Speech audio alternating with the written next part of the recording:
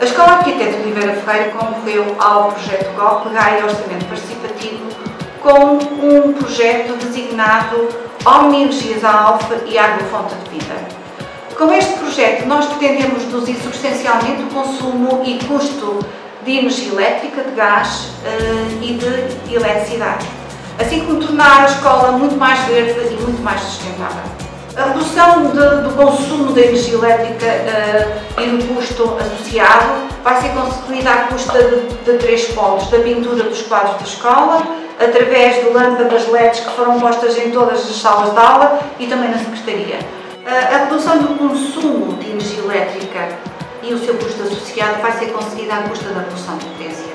Uma luminária com duas lâmpadas incandescentes corresponde a uma potência total de 156 watts que vai ser substituída apenas por uma única lâmpada LED de potência 24 volts. Utiliza-se a mesma luminária, mas é fácil, rápida e fácil, não necessita de balastro, arrancadores nem condensadores.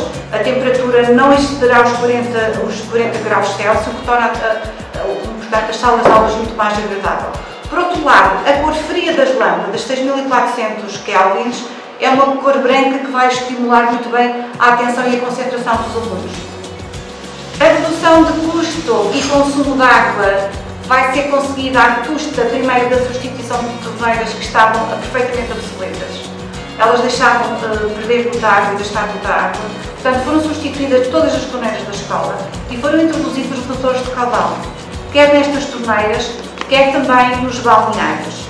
Por outro lado, na cozinha, introduziu-se também uma torneira com redutor de caudal, é que estes redutores de caudal consomem 50% de água e não consumindo água quente, não consumindo necessariamente vai-se eh, reduzir em 50% o consumo também de gás.